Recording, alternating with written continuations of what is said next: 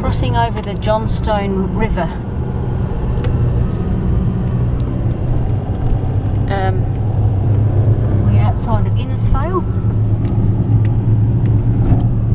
Crossing over to Flying Fish Point.